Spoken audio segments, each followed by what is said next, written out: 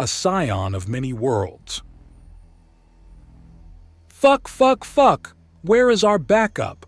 I told you fuckers to get your asses ready, Horus demands into his communicator.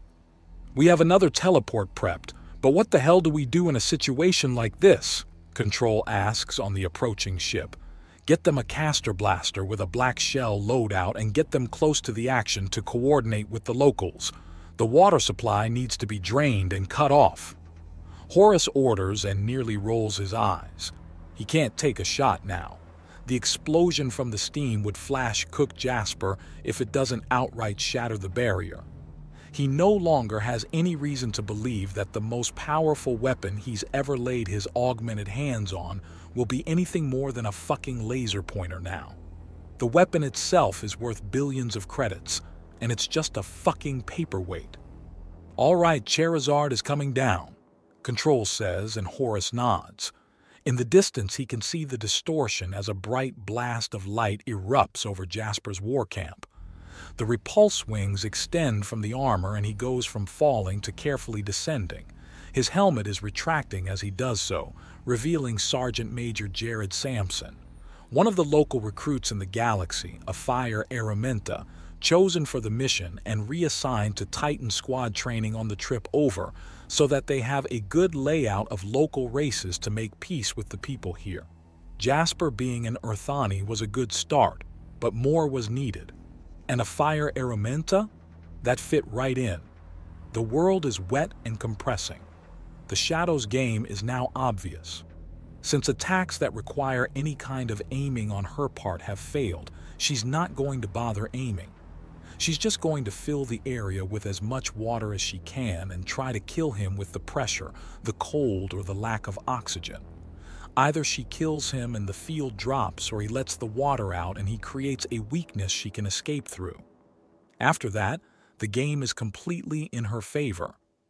Unfortunately for her, the fact that a person can set themselves out of phase with the local states of matter doesn't really help.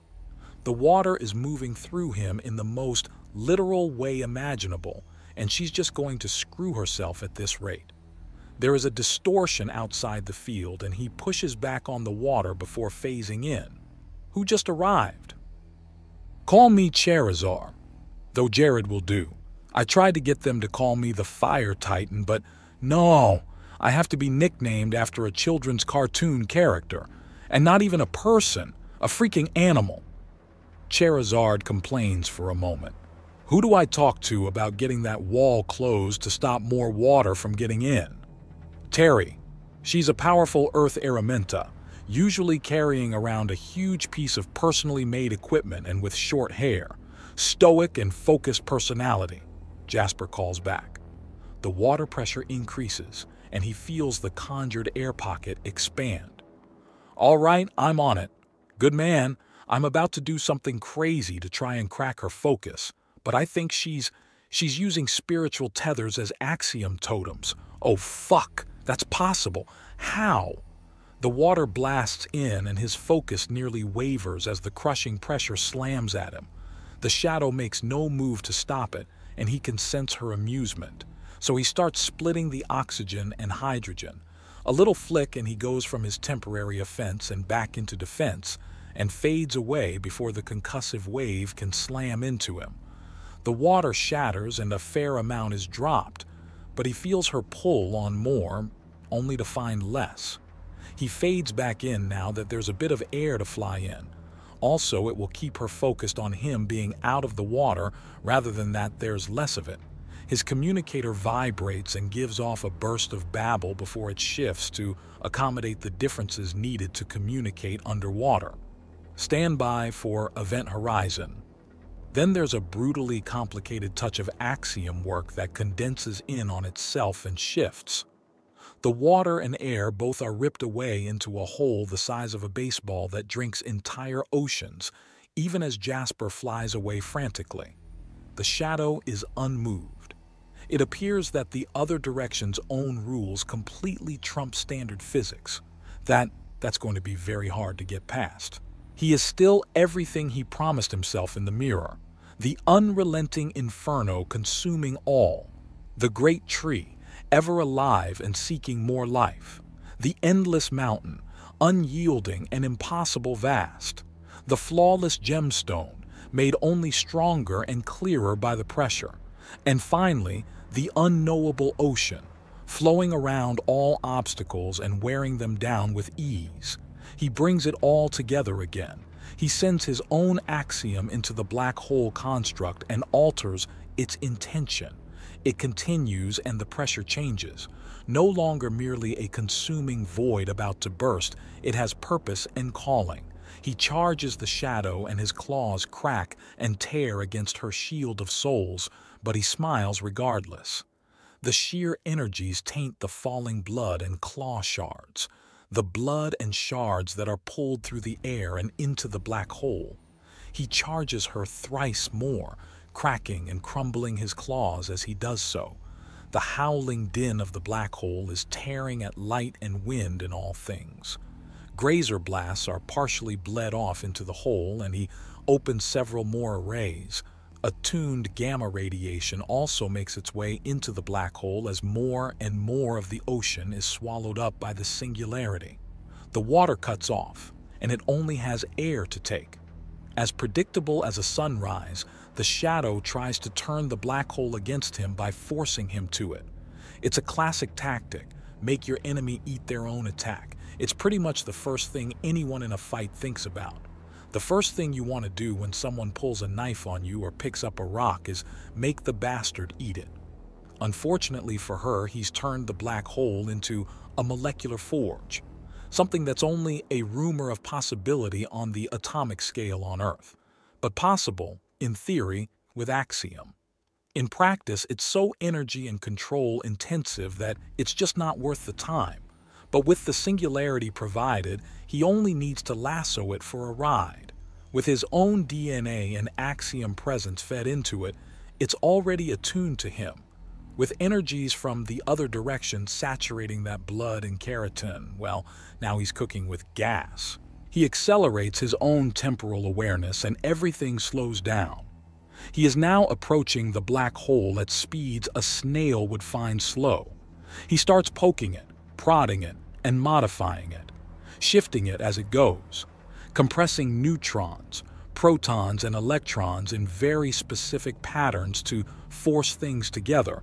The axiom, omnipresent and very reactive, help him shift things. It slowly becomes metallic, but it's taking its cues from the keratin and the blood. The metal shifts, ever so slightly, and it is infused with the power of the other direction. Absently, part of Jasper wonders if this will cause him to go from resembling a white silk moth to a death's head moth. Either way, however, it works. As he would crash into the black hole, the energy is released and he thrusts his right claw into it. If it fails, he's only down an arm. When he's killed the shadow, he can grow another with a healing coma or get a synthetic replacement. No big deal either way. He pulls. He pulls the living soul steel he's made into his claw and bones. It breathes into him, phasing through his being. It is attuned to him, and attuned properly to the other direction. The pain is immeasurable. His focus wavers as he tries to harden himself against it, and he slams into the now solid barrier as he feels every touch of keratin, blood, and bone in his body shift. His skeleton, exoskeleton, Fur and claws all take on a shimmering, shining aspect as he feels the other direction slam into him. It's over in moments, but his axiom expanded awareness made it feel like millennia. He takes a deep, sucking breath to try and steady himself, his claws gouging away through the defensive barrier. That he was able to maintain it even in the three seconds all this happened in real time and 3,000 years it felt like is impressive. His wings snap out and he takes off.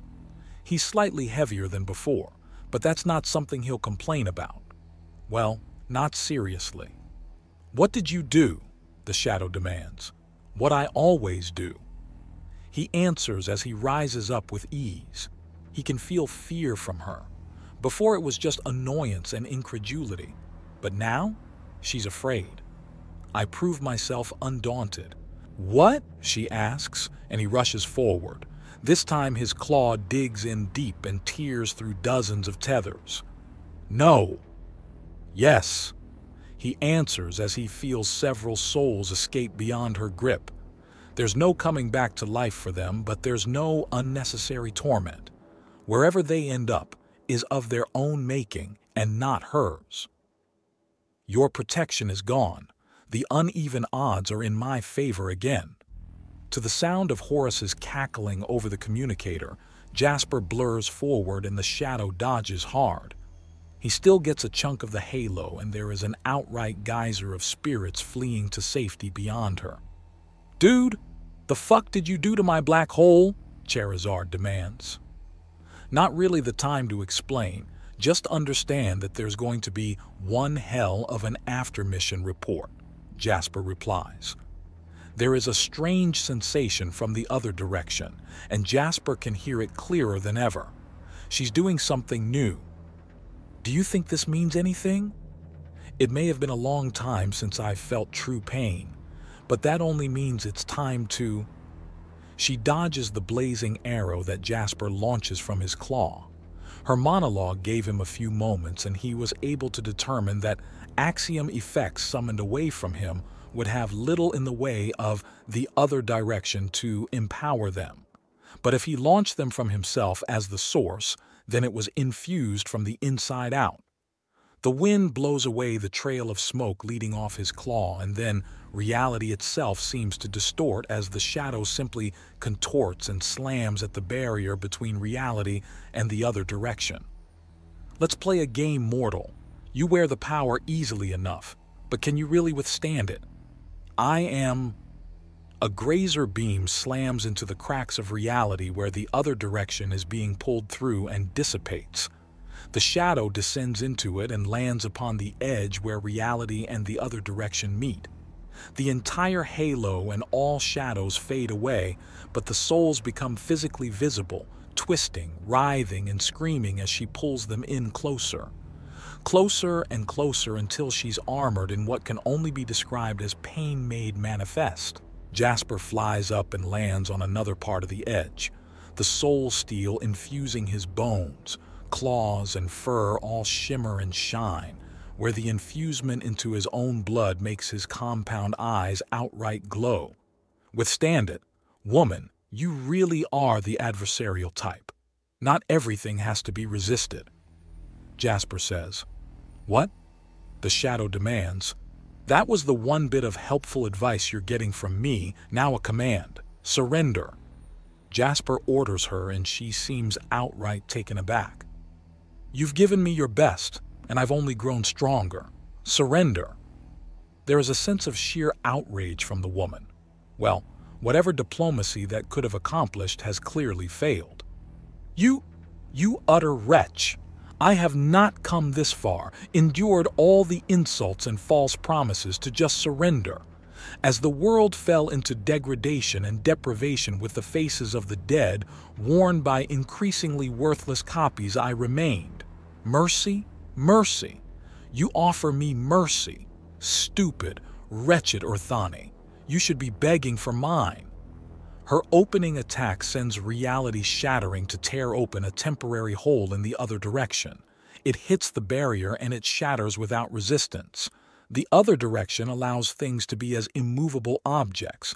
But the problem with something unmovable is that once it is moving, then it's an unstoppable force instead. Even their essences are worthless, barely more than animals, some of them even less. The shadow screams as she gathers a conglomeration of them together and hurls them at him. He catches the souls but is pushed back as they spin and grind against his claws, their tethers shattering against him and the souls departing elsewhere. Then you should have healed them. You could have healed them, could have helped them and grow them into something more. I tried, the shadow screams, twisting them into a cord and lashing out at him. He catches it and begins to sever it. I tried, but I couldn't. No one could because there's nothing to heal. There's not enough to them. I'm carrying hundreds of thousands, and even together, they're not enough.